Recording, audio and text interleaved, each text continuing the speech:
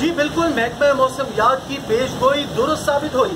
आपको बताते चले कि शहर कायद में मूसलाधार बारिश शुरू हो चुकी है।